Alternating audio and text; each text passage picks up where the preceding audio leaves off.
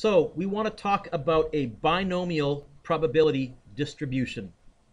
Lesson 7 says using the binomial theorem to calculate probabilities. And this to me also has kind of a high nerd, very cool concept in it. Objectives, it says to identify the conditions of a binomial experiment and to develop the binomial probability distribution formula. And here's the question we're going to start out with. What's the probability of correctly guessing the outcome in exactly two out of three rolls of a die. We're going to do a three level tree. I said I always do a tree for two levels. I sometimes do for three levels. More than that, we're going to try and see if we can spot a pattern, Amy, and come up with an equation or a formula or some kind of a shortcut. So we had students walk in late today. Let's suppose I was trying to guess their roll on the dice of fate. What are the odds of me guessing correct? We'll use C for correct and not C for me not correct. What's the odds of me guessing correct? It's rolling a dice. What are the odds of you guessing the right number? One out of six. What's the odds of me being wrong? Five out of six. What about on the next roll? What are the odds of me being correct? Still one out of six. Five out of six. One out of six. Five out of six. Are these two branches identical? That's how you know they're independent. What about the third roll? You know what? Still 1 out of 6, 5 out of 6. Let's fill them in.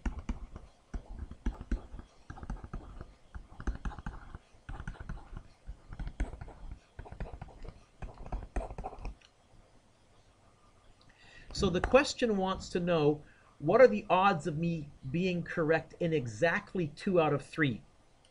Down this branch, how many am I correct on? 3 out of 3, that's no good. How about this branch? Oh, this one is exactly 2 out of 3. How about this branch? C, not C, C. Oh, this one is exactly two out of three. No. Uh, yes. No. No. No. You know what? Those three branches that I put a check mark under, those are the only ones that have, have, have exactly two C's and one not C. The probability of, oh, Vitali, we're saying this. This branch or this branch or this branch.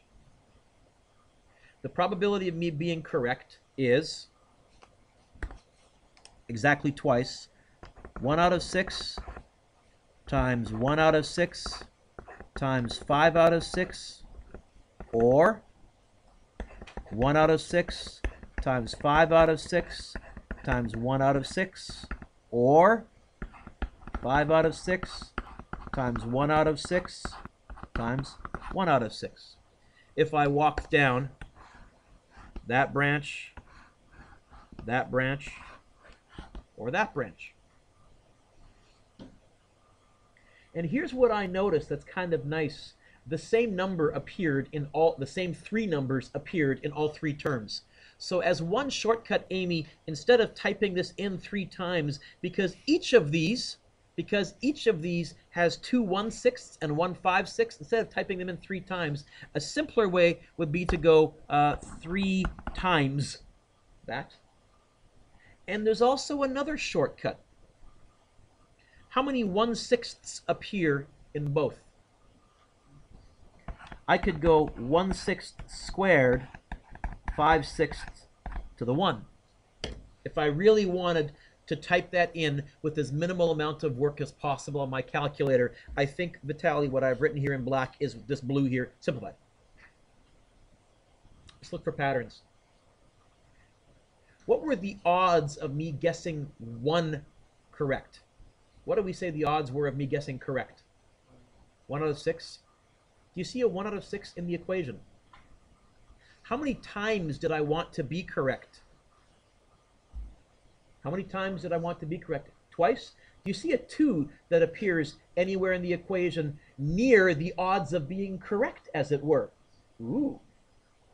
What were the odds of me being wrong? How many times did I want to be wrong? Which is why I put the 1 there, Amy, so it would stand out. what about this? Now, it comes from the fact that there's three paths, but what if I didn't have the 3 in front of me? This can be thought of as the product of the number of pathways that have two C's.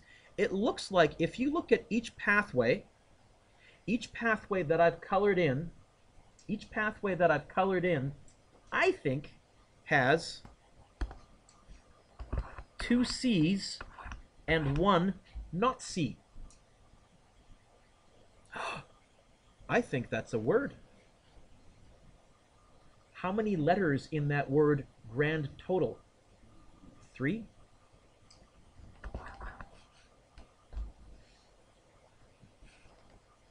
Choose. How many C's are there? Can you on your calculator try 3 choose 2? Does 3 choose 2 work out to 3? Because that would be a delightful and wonderful coincidence if it did. That Are you saying that this right here is really from three guesses, choose two correct? That's not a bad pattern. If the pattern is, how many times are you rolling the dice? Choose how many you want to get right, times the odds of getting one right to the power of how many you want to get right, times the odds of being wrong to the power of how many you want to get wrong. That's actually not a bad pattern. And that is the pattern. We call this a binomial probability distribution function. By the way, do you notice this looks a little bit like when we expanded binomials where we had the two exponents adding to the number and we this is very similar to that thing we did with the A's and the B's last unit. Turns out Pascal's triangle has a lot to do with this too. What's the probability of correctly guessing the outcome in exactly 2 out of 6? How many times are we rolling the dice grand total here, Jasmine? How many times are we rolling the dice grand total here? So how many times are we rolling the dice? No. How many times are we rolling the dice? Six. Six. Do I want to do a six level tree? No. How many times do I want to be correct? Okay. So it says the probability tree method is tedious, but we can extend the ideas from here by saying this. And I'm just going to go straight down to the bottom here. The probability of exactly two correct guesses in six rolls. Jasmine, how many times am I rolling the dice grand total? Six times. Choose. How many do I want to get right? Two. That's the first part of the answer. What are the odds of being right once? How many do I want to get right? Two. What are the odds of being wrong once? Um, if I have two right, how many do I want to get wrong? Four. And that is the answer. Get out your calculators and go to town.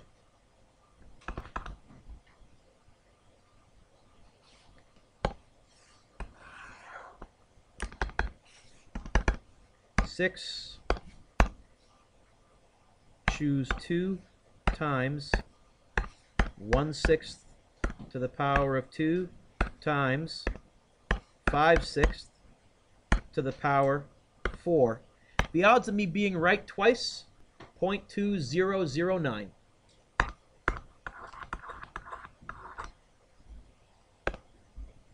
What would the odds of me being right all six times be? How would this equation change? It would be from six rolls, choose six right, 1 6 to the, how many times do I want to be right? 6, 5 6 to the. By the way, what do you think I'd be able to correctly guess the dice six times in a row? Is that likely or very, very unlikely? Exceedingly unlikely. That's scientific notation. So 10 to the negative 5, 0.000214. What would happen most often if I roll the dice six times and the odds are 1 in 6, on average, what would I usually get right, do you think, out of six guesses? Madison. Once. Probably. Right? If the odds are 1 in 6, and I'm rolling six times, probably if I repeated this game over and over and over, the most common result would be getting one right. Oh, let's see if that gives me a slightly bigger answer than getting two right. One, five wrong. Oh, yeah. About 40% of the time, I'll get one right. 20% of the time, I'll get two right. Almost never, but not zero, will I get six right. This is also going to allow us, for example, to answer the question, what are the odds of getting 20 out of 40 on a multiple choice test? It's going to be the same math here. This is the binomial probability distribution. This is the long version, but this is on your formula sheet as the long version. Now your calculator actually has this built in in a very obscure location and I'll show you that in a little bit. But you do need to get comfy with the long version which actually isn't all that long, gotta be honest. Next page over. Okay. If I want to get X correct in six rolls, the pattern is from six rolls, choose X correct, 1 out of 6 to the x. 5 out of 6 to the to the what? 6 minus x technically is what we were doing, right? If that's a 2, that's a 4. If that's a 3, that's a 3. If that's a 5, that's a 1.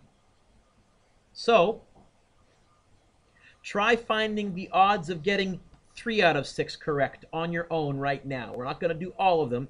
Try doing three out of six correct. I'm going to freeze the screen. Let's see if we end up in the same place.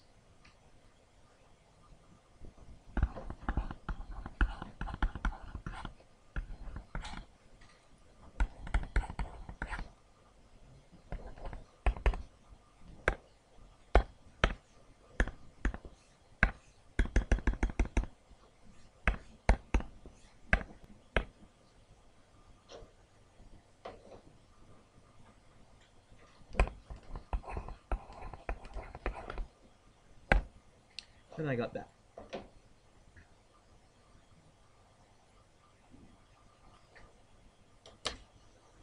Yeah. Oh, you know what? The odds of getting three, three out of six correct, not very good. Which they, which they shouldn't be. Now, you cannot, you cannot use this for cards. Why can't you use this for cards? Because once you picked one card, what happens to the remaining odds? They have changed. So kids for some reason, unless you put it back, which is boring, okay? Kids sometimes want to use this for cards. No, no, no, no, no, you cannot. You can only use this, it's the odds never change. For example, Brett, suppose you shot free throws at 70% for the whole season. We could ask, in your next 10 shots, what are the odds you hit seven right? Seven shots. What are the odds you hit eight? What are the odds you hit nine? What are the odds you hit 10? Or what are the odds that you hit at least seven, which would be seven or eight or nine or ten? Very easy to calculate. And you can see where, oh, they might actually want some of this in sports. You could use a lot of the information. Batting averages is a great one as well. So if you know a guy's career or season batting average and you're towards the end of the year, what's the probability in the next five at bats he goes two for five? Do you think managers could use that as part of their strategy? Yeah.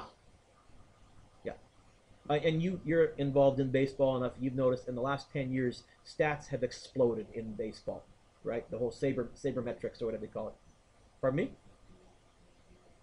Oh yeah. Well, when I was young, all they ever talked about was batting average. Nobody cares about batting average anymore. What's the big stat? On base percentage and slugging percentage, and those only came around in about 1996 or 97. Those, nobody mentioned those before. Yeah. It's how, how well you hit the ball when there are people on base. Because if there are people on base, the defense plays you differently and you're pitched to differently. Of course, you'll have a different batting average then than if the bases are empty. And so this is also challenging many long-held managers' beliefs. Have you read the book Moneyball? If you want to read, because as a baseball guy and as someone who's got enough of a math background now, fascinating read. It's about the Oakland A's and how for years they were able to be very cheap but still compete with everybody because Billy Beane had found mathematical ways to find players that seemed worthless but actually know were worth much more than their current salary in terms of the stats that they would produce on average. He's the one who taught players that it's better to get walked than to hit a single. Anyways, overturning some very, very common beliefs. Uh, the sacrifice fly, I believe, is what they talk about. The sacrifice fly mathematically is a terrible, terrible, terrible thing if I recall the book. I'll have to double check. Now, What's the relationship between this and the binomial theorem? Can you see here if we expanded instead of gen a plus b to the sixth power, if we expanded p plus q to the sixth power, remember the pattern from last unit? It was 6, choose, 6, choose, 6, choose, starting at 6 down to 0.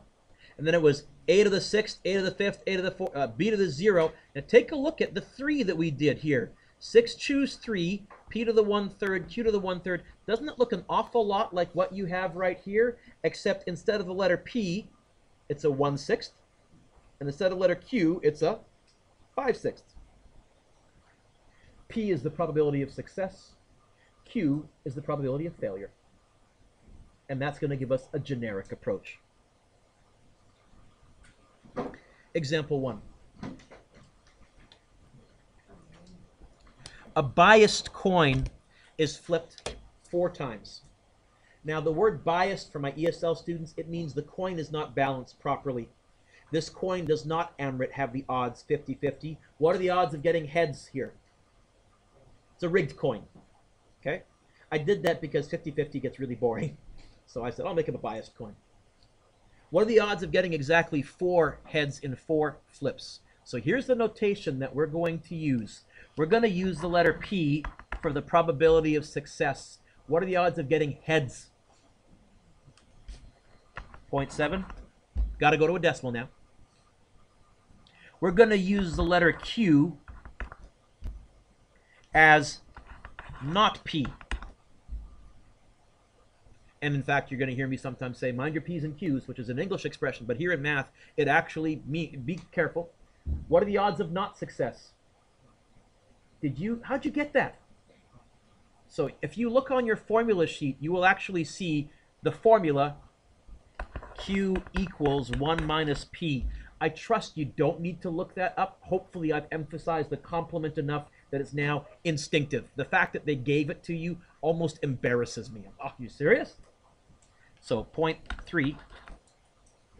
If I want exactly four heads, how many times are we flipping a coin grand total? Four. It's going to be this. Four choose. Oh, and in the second question, how many times am I flipping a coin in total? It's also going to be four choose. We're going to do both of these simultaneously so we can see the difference. How many heads do I want to get here? How many heads do I want to get here? Two. What are the odds of getting a head? 0.7. What are the odds of getting a head? 0.7. How many heads do I want to get in this first question? Four. How many heads do I want to get here? Two. See how all the numbers are coming together?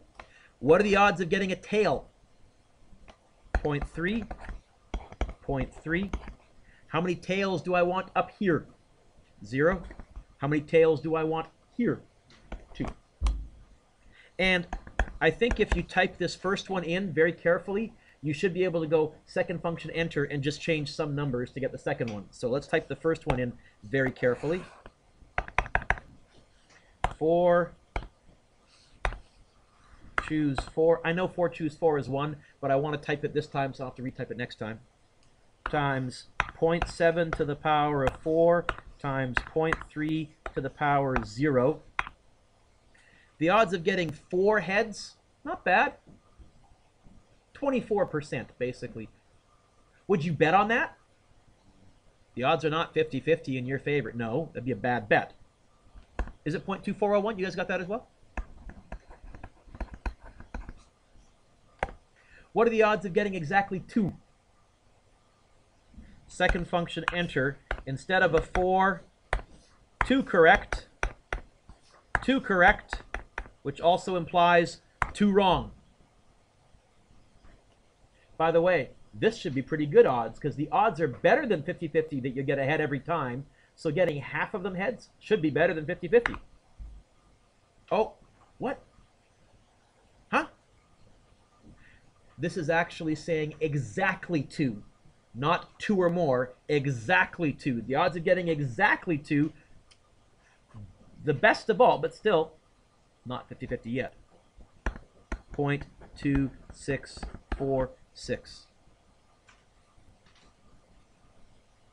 The last one. What are the odds of at least 3? Now, what does at least 3 mean?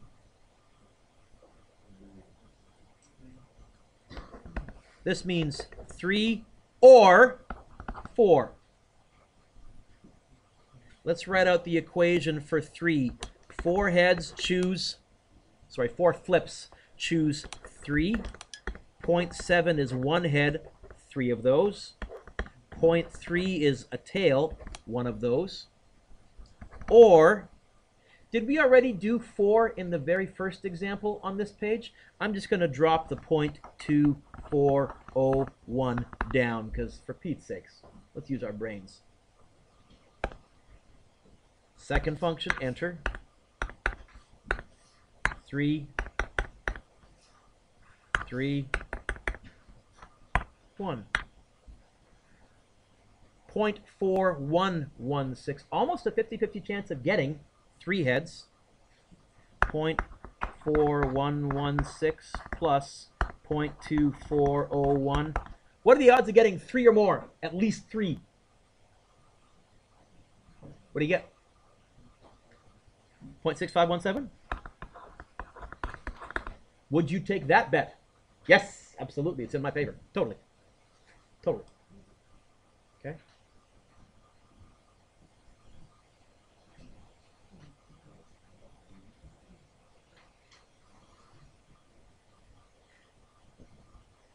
A fair coin. Hey, what are the odds for a fair coin?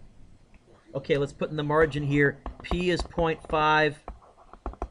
Q is 0.5. Uh, by the way, apparently, actually not quite true. Just the way they mill the coins, one of the sides is slightly, slightly, slightly, slightly, slightly, slightly heavier. But we're going to pretend that it's true. Okay. I don't know, but they actually, uh, the NFL made a big stink about that. Why are coin tosses important in the NFL? It, not kickoff. That's big deal. Overtime, and there's there's huge stats that show whoever gets the ball first in overtime wins like 60% of the time. That's a big deal. And so the NFL raised a big stink about their specially minted, made for TV coins. How do we know these are properly balanced? Because this guy wrote a paper and showed that regular coins are proper, aren't properly balanced. Now, it's like to the fifth decimal place. It hardly makes a difference, but they made us think about it. It about two years ago. Yeah. What's the equation here going to be? How many flips grand total? 12. Choose. How many heads? Six. Odds of getting ahead. 0.5. How many heads? Six. Odds of getting tails. 0.5. How many tails? Six. Amrit, this is why I gave you a biased coin for the previous question, because the 0.5s there are kind of boring. the same number it confuses kids, but for a real coin, it is the same number. What do you get?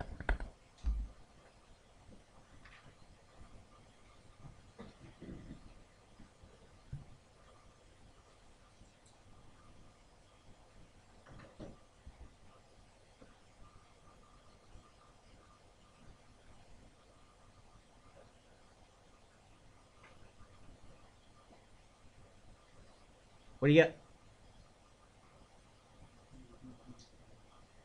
David? 0.2256. Anybody else? Yes? Okay. So are you all okay with the long way? Look on the inside cover of your workbook. See if you can find the algebraic version of this equation in the probability section.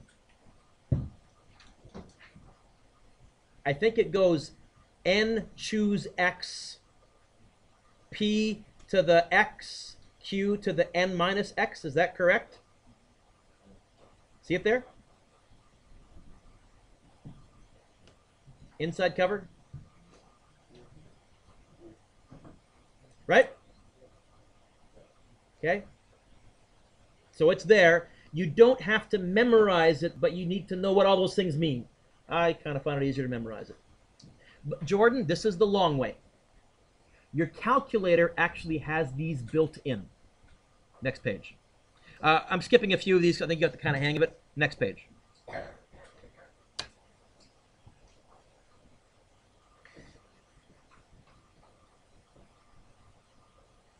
Here is the more interesting question. Tests that are multiple choice.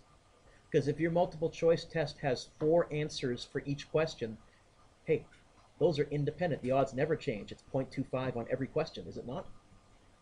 So now we can start to say, hey, what are the odds of getting uh, 5 out of 10 on a test?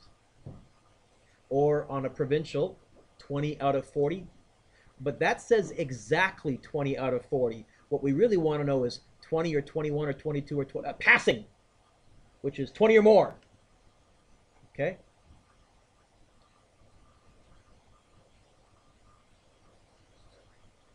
Pretty good. I don't know how you knew I told her to elbow you, but your head came up right away. Okay? We're going to do these questions two ways. We're going to do it the long way, and then I'm going to show you your calculator's built-in function. You are allowed to do both, but if you use your calculator's built-in function and it's a written question, you have to show me what you've typed in. So, a multiple choice test has how many questions? Jasmine, how many questions? 10. How many rolls of dice? 10. How many flip? 10. So it's going to be 10 choose. Right? How many correct? How many wins? How many heads? How many successes do we want in part A? 2. Now, in this question, what's P, the probability of randomly guessing right on a question?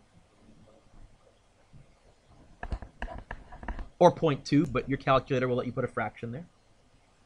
What's Q?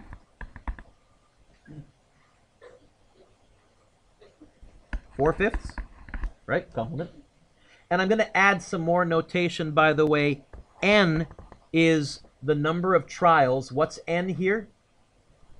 10. If we do this the long way, we would go 1 fifth to the, how many right? 2, 4 fifths to the, how many wrong? 8. What are the odds if you randomly guess of getting exactly 2 right? And give it to me to four decimal places, please.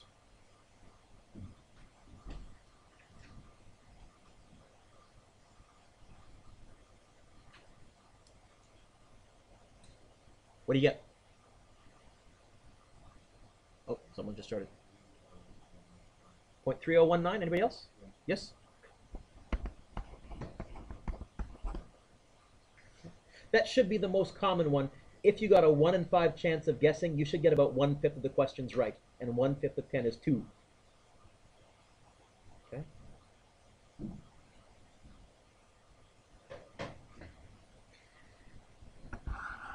Draw the line.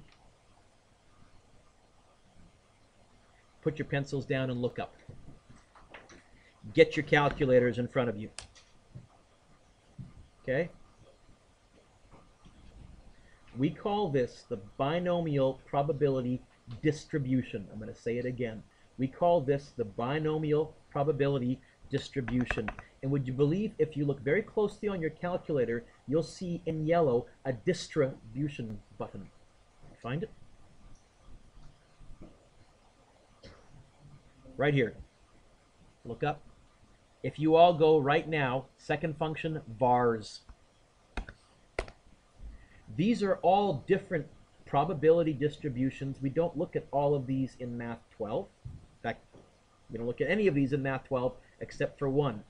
If you go down arrow, down arrow, down, it, down, stop when you think you've reached the binomial probability distribution function. Oh, option zero. Binom PDF, which is how I'll always say it, that stands for, pardon me? You didn't go second function vars. You just hit vars. The distribution feature is in yellow. Dina, you've got to go. Oh, yours is on letter A? Okay, you got an extra one. Whatever. Uh, make sure you're not binom CDF. Make sure you're binom PDF. Okay? Look up. Jen, you found it? Second function, vars. Down, down, down, down, down for a while until you see binom PDF. Look up, thank you. Second function, vars. Second function, this. Okay, down, down, down, down. Got it? Okay.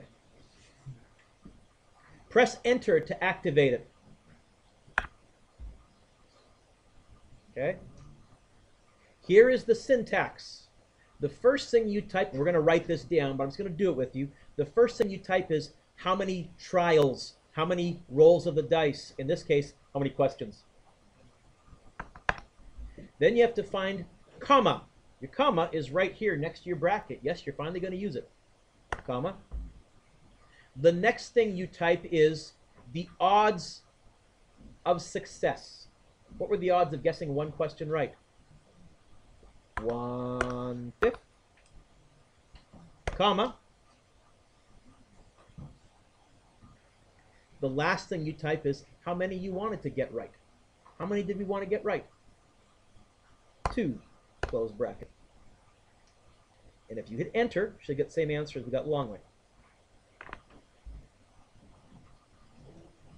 Except, apparently, someone didn't round off properly when they gave me this answer. They should have said 0.3020. Yes? So I'm going to fix it here because I can't stand it when we round off wrong. And here's what we're going to write over here. If you did it this way, here's what I would ask you to write. Binom PDF, bracket, 10, comma, 1 fifth, comma, 2.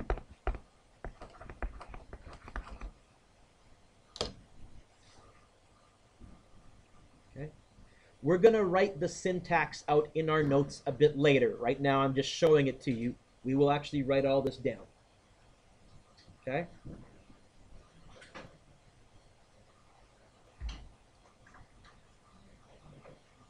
So we're going to come back to B in a second. We're going to come back to B in a second. Instead, cross out C and just underneath it write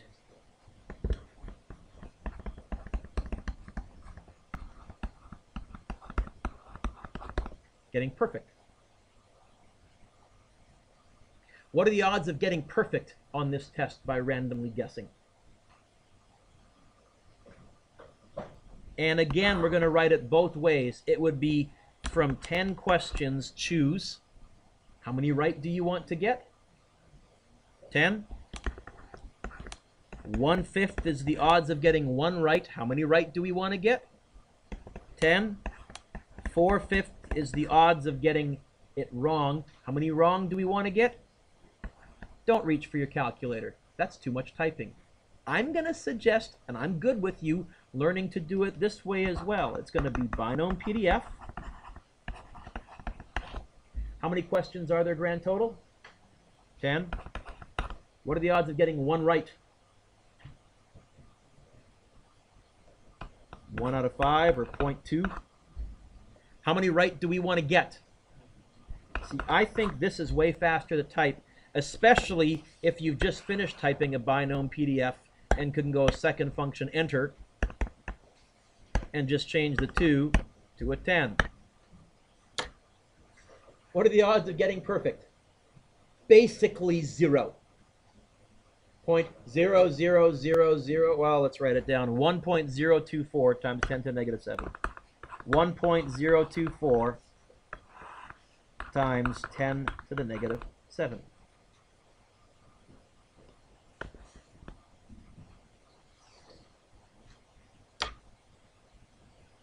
Okay. Let's go back to Brett. Let's suppose Brett's shooting three pointers. Why did you guys duck? Uh, let's suppose Brett's shooting three pointers. Okay? And let's suppose the probability of Brett hitting a three pointer is 0.3. What are the odds in your next 20 shots you go 15 for 20? It would be binom PDF. 20 shots, 0.3, hit 15. Not very high, not likely. Pretty small. Right? You only got a 30% chance of hitting one. Going 75% right, hitting 30, you know, with only a 30% chance on each one. Not likely. Okay?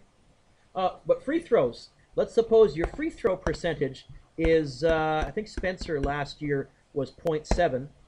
What are the odds of him going 15 for 20 over two games from the foul line? Not bad. Oh no, that's exactly 15 for 20. What we would like to know is what are the odds of him going at least 15 for 20, which means 15 or, or, or, or, or, what does or mean? Oh, there's got to be a better way to do that. And there, there is. Your calculator does have methods whereby you can enter more than one piece of data. Okay?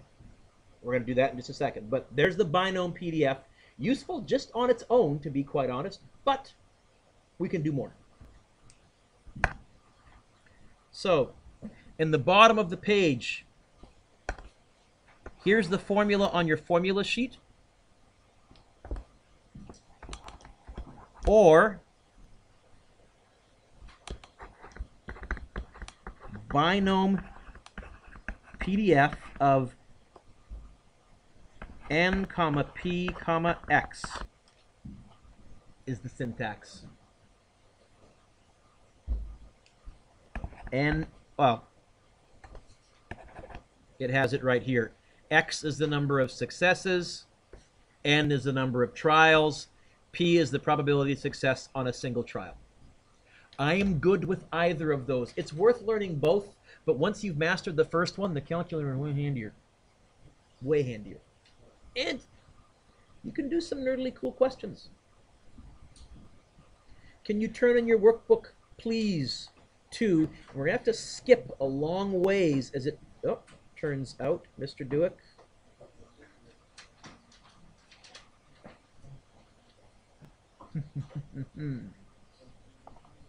yeah.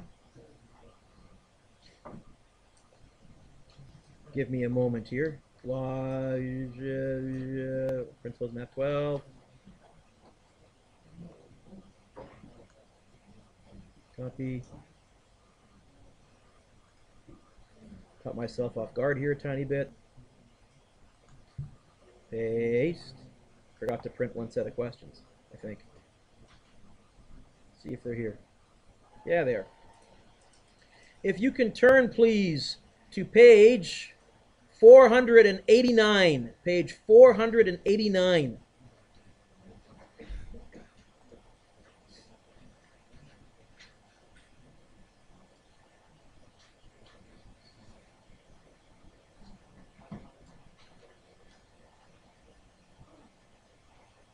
Page 489.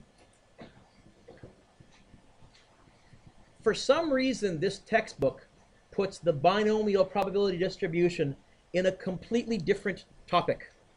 Don't know why, but it does. Delete all ink. Come on. Just have patience. Come, computer. Not responding, I know. You'll get the hang of it. Good. Delete all the ink. Come on.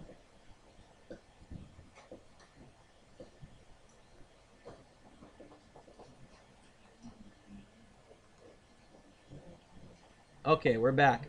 So on page 489, folks, quiet please. Page 489, you can again do your standard, uh, hey, box. It's on the formula sheet. And let's do example three together. Okay? Example three. So here's some nice applications. Thank you. Here's some nice applications, example three. 20% of patients taking a certain migraine drug suffer side effects. If the drug is given to eight patients, what's the probability that at most, let's all underline the word at most, at most two suffer side effects to the nearest thousand? How many patients are there grand total? Eight. Tree? No. Do the odds change no, if the odds changed like cards, this would be bucket.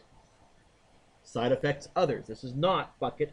This is going to be how many patients grand total? Eight. What's the probability that one patient has side effects? 0.2. How many patients do we want to have side effects? Well, none. But how many patients does this question want to have side effects? Two. So you can either go 8 choose 2, point 2 to the... I'm going to use binom PDF of 8 comma 0.2 comma 2. What are the odds? Oh, wait a minute. That's at most 2. What does at most 2 include? 2 or 1 or so here's 2 underneath that there's going to be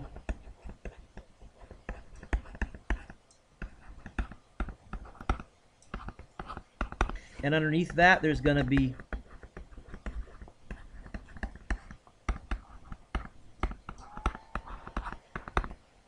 Now we should be able to type this in our calculator pretty quick. Just type the first line and go second function, enter, change the 2 to a 1, enter, change the 2 to a, a 1 to a 0, enter. The handwriting is the really long part. Let's try it. Where was binom PDF? Do you remember? It's a distribution, second function vars. Down, down, down, down, down, down.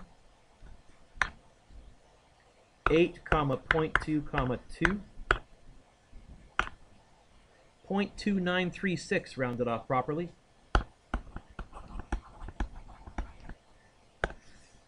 Second function, enter. For 1.3355. Second function, enter. For 0.1678.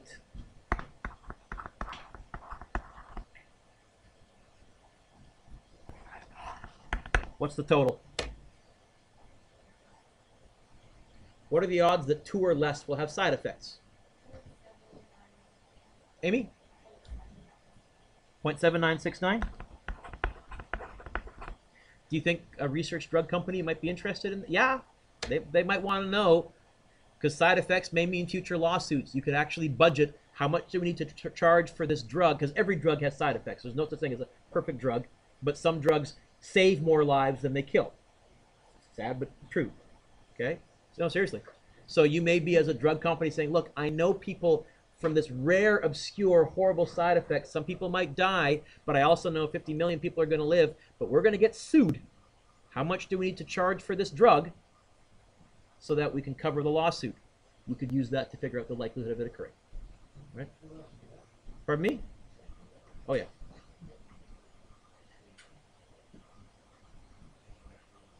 the, the the money behind behind patent drugs is stunning in the billions in the trillions in the trillions turn the page page 490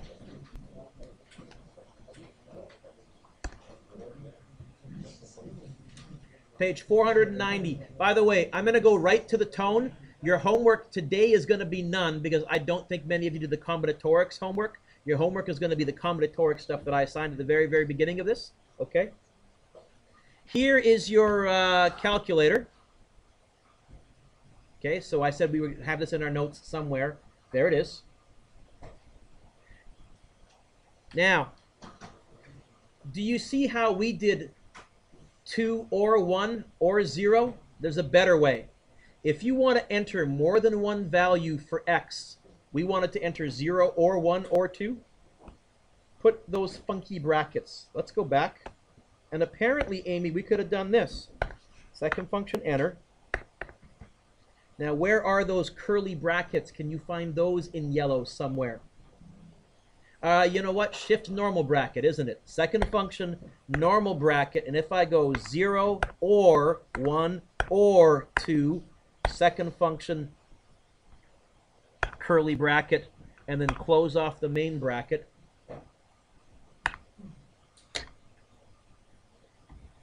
That gives us the first value, 0. The second value, the third value right there. I don't know. What did I say? The second function, regular bracket.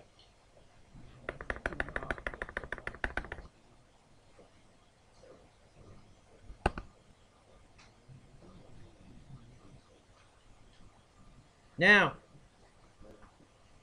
what if you want to add those up? Read what it says here. If you want to add them up, use the sum answer. So we're using obscure stuff on our calculator command. To find the sum answer command, use second stat. Let's see. Second function. Where's stat?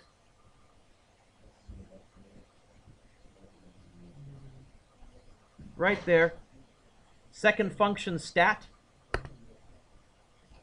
And if you scroll over to math, option number on mine 5, sum of all of the previous answers, add them up. And Amy, there's the point 7969 that you gave us. Now, do you have to do it that way? You can survive by writing out the answers and adding them up. Brendan, it works just fine to do it this way. But am I a techie nerd? Will I show you how the tech works? Yep. Okay. There is one more shortcut. I'll show you that next class. Next class is going to be about a 20 minute lesson, a few more examples like this. Next class is going to be uh, work on the Binom PDF homework. And then Tuesday, big take home quiz. I don't see you, no, I do see you Thursday. Friday is a Pro D day. And your probability test will be the week after. We're in the home stretch.